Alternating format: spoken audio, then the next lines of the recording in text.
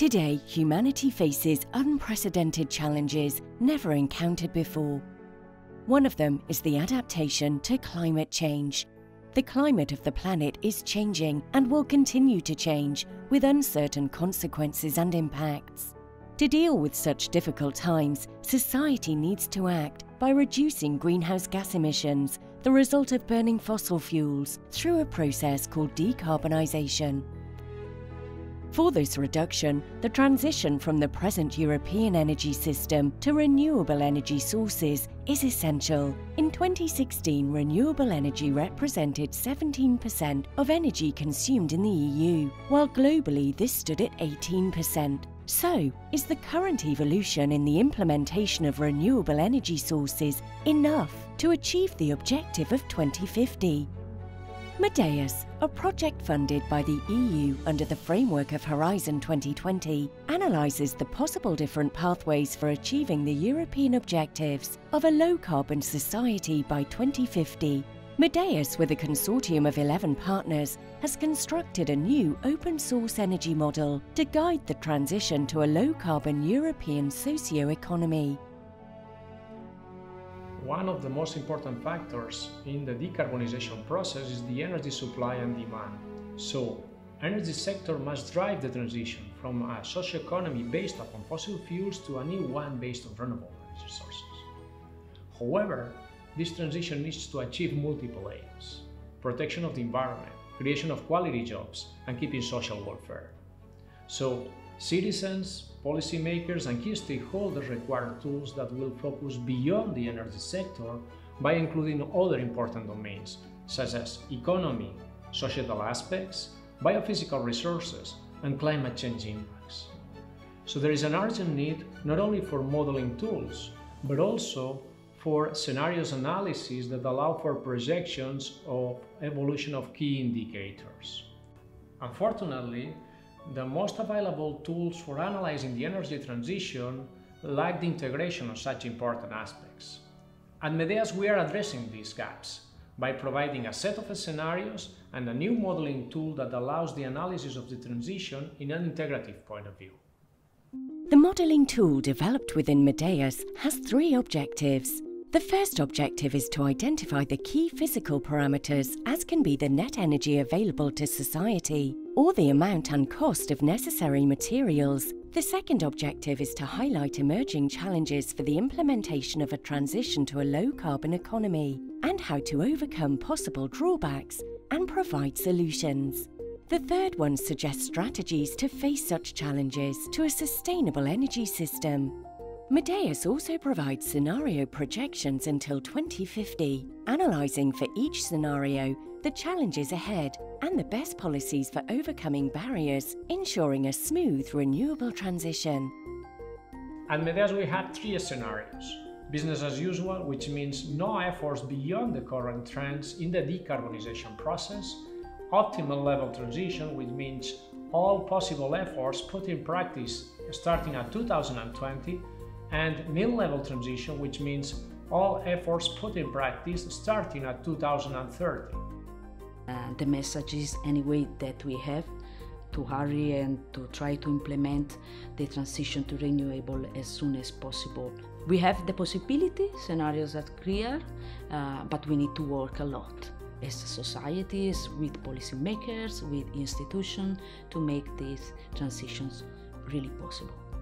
Medeas is providing an aggregated energy economic environmental model system that helps to evaluate impacts and provide guidance about the challenges ahead of the renewable transition in Europe.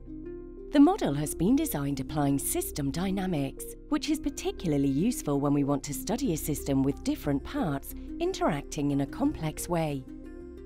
The fact all these characteristics play together to um, allow us to capture non um, linear dynamics that are present in the system, but not just in the energy system, but also in other parts of the system, like you know the economy and uh, climate and land and agriculture. And because uh, Medeas is a system dynamic model, it can actually uh, make a very comprehensive assessment of uh, the different parts of the system and how the energy system uh, fits within a much larger and more complex uh, context. The Medeas model is divided into seven submodules. It consists of a modular and flexible structure where each module can be expanded, simplified, or replaced by another version or submodel. In fact, it covers more than 4,000 variables, running from 1995 to 2050. The module's main characteristics are economy and population. The population follows the evolution of the UN forecasts demand led growth and supply constraints. The economic structure is captured by the integration of input output analysis. Energy. This module includes the renewable and non renewable energy resources potentials and availability, taking into account biophysical and temporal constraints. In total, there are more than 20 primary energy sources considered. Energy infrastructures represent the infrastructures of power plants to generate electricity and heat. Materials. The Materials module compares the demand of each of the 38 materials considered critical in terms of their availability according to existing reserves and resources and shows a warning when any of the limits has been exceeded. Climate. The Climate Change module converts primary energy consumption into greenhouse gas. Part of these emissions are absorbed by forests and oceans, and part are accumulated in the atmosphere, leading to an increase in the average global temperature compared to the pre industrial period. Land use mainly takes into account the needs of land for renewable energy sources. It estimates, among other aspects, the need for land for biofuels or solar plants and compares them with other land uses, such as the urban area. Social and environmental impacts. This module translates the biophysical results of the simulations into metrics related with social and environmental impacts. The objective of this module is to contextualize the implications for human societies in terms of well-being for each simulation. The connections between different modules are represented by arrows. Most modules have bidirectional linkages, the Medeas model obtained can be modified and expanded depending on the availability of new data or new information. A Medeas model is conceived as a policy assessment tool so uh, it's, uh, it has been developed in order to uh, support decision making.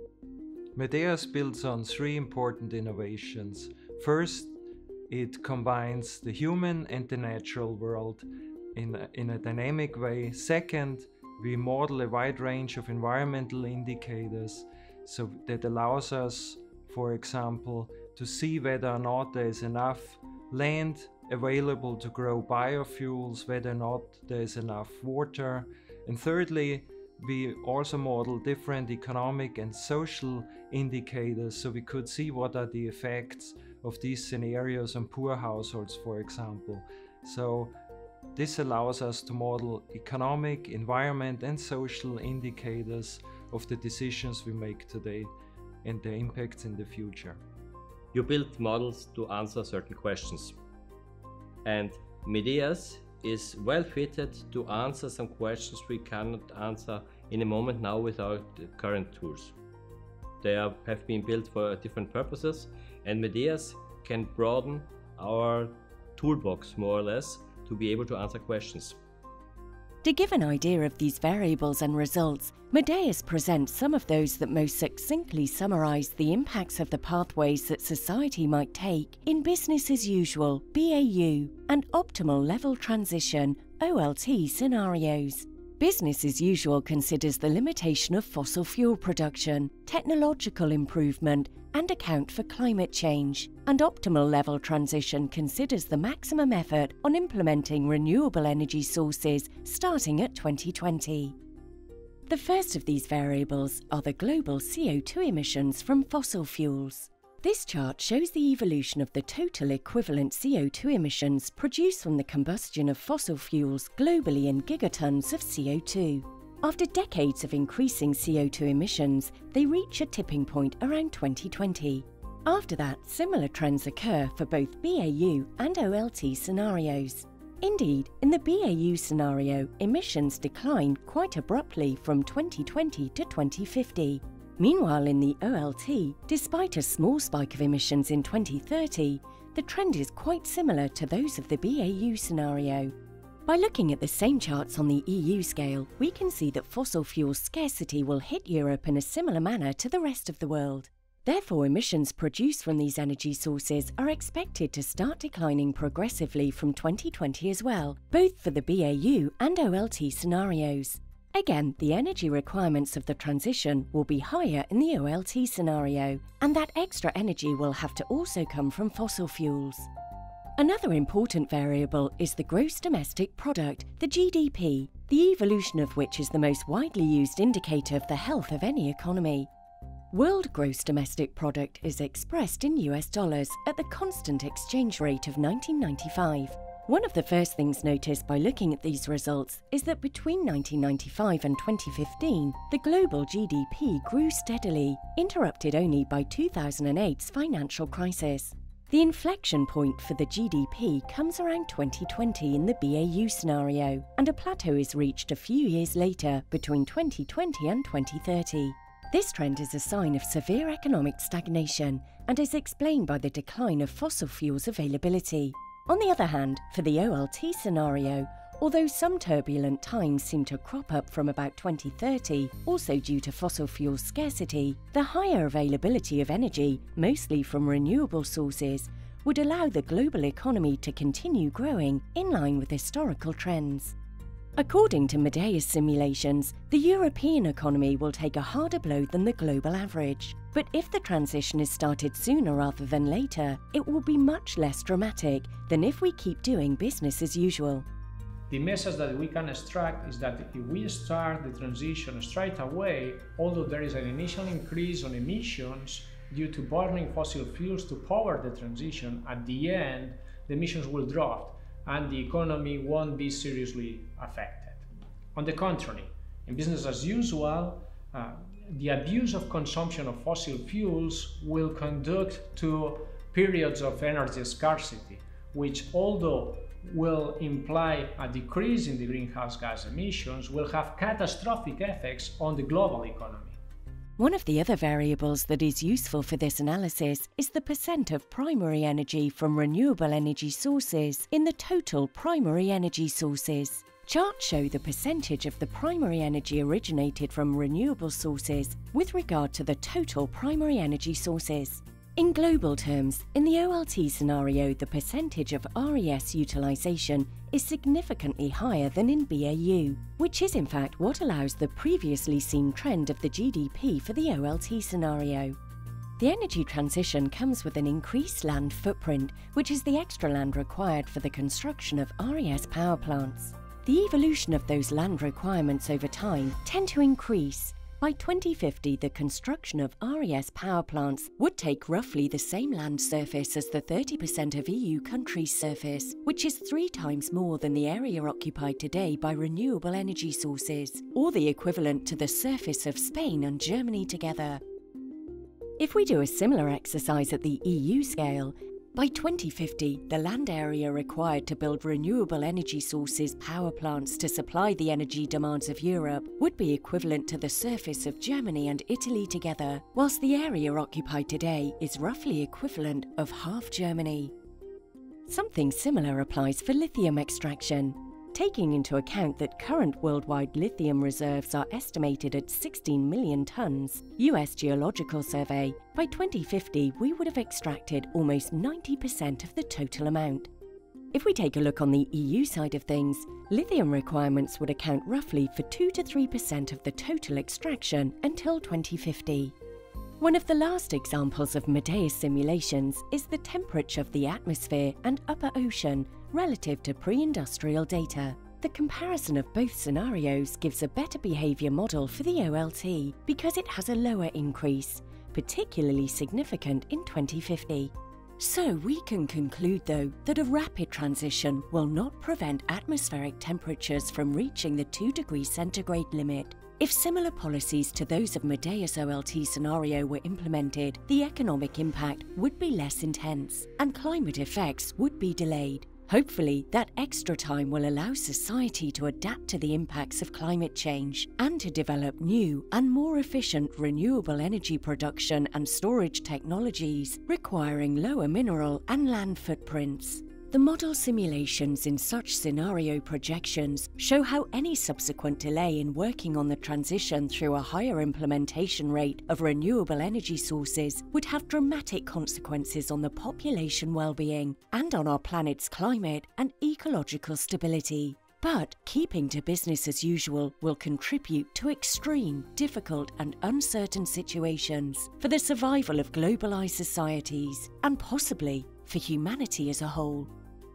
At Medeas, we are addressing two needs open source and transparency. Open source by providing a public database to run the model and a software at three geographical levels world, Europe, and country, and country at two levels Austria and Bulgaria, and transparency with a massive open online course, an users forum, and extensive documentation to use and run the model.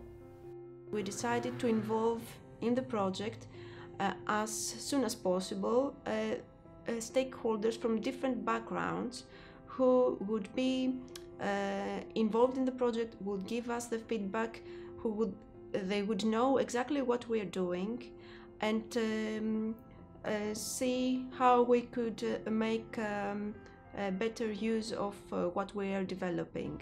I think it's it's a very innovative and new tool. So if if we see it in a, in a process of developing models, it's really at, at the at the front end of, of what we have now. So I'm an economist, so I read with a special interest all the uh, parts of the economic model, and I think there are some very interesting features which are usually absent in this type of models. Uh, me as a social scientist, I'm very uh, uh, uh, enthusiastic about the new possibilities that we have in formalizing behavioral theories and building artificial societies. But that, of course, provides us with output that should be communicated with other disciplines. And exactly this is what Medeas is also doing, offering a platform for different disciplines to really communicate on deep levels. So I expect a lot from this methodology in the future. This kind of tools is made for the um, European Parliament, for the European community. It's not made for scientists, for other scientists. You know? in, in this moment, of course, we are working on, on at this level, but we have to implement it uh, uh, as soon as possible for the for the for the policymakers and and uh, and people and association and non-governative uh, associations, etc. All these kind of people, people that makes politics.